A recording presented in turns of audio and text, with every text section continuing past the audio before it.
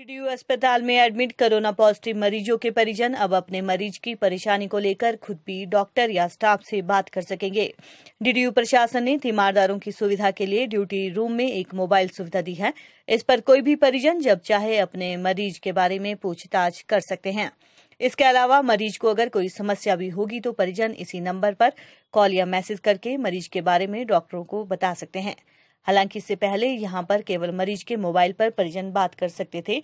इससे मरीज़ से तो उनकी बात हो जाती थी, मगर जो ड्यूटी पर तैनात डॉक्टर थे, उनसे संपर्क नहीं होता था। इस नंबर के जारी होने के बाद तीमारदार मरीज़ के साथ साथ डॉक्टर या नर्स से भी बात कर सकेंगे।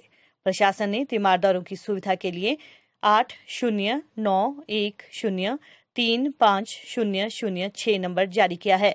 ये नंबर डॉक्टर ड्यूटी रूम में लगाया गया है। यहाँ पर आदेश दिए गए हैं कि ड्यूटी पर तैनात डॉक्टर या नर्स इस पर आने वाले कॉल को अटेंड करे।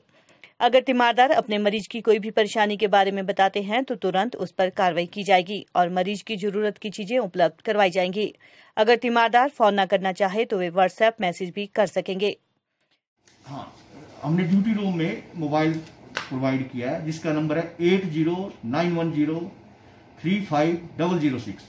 इस पे लोग अपने मरीज़ के बारे में हाल चाल जान सकते हैं और कोई भी प्रॉब्लम हो तो वो इस फ़ोन पे मैसेज कर सकते हैं, बात कर सकते हैं डॉक्टर या नर्स से, जो भी अवेलेबल होगा तब। और अपनी जो प्रॉब्लम है उनको सॉल्व किया जा सकता है।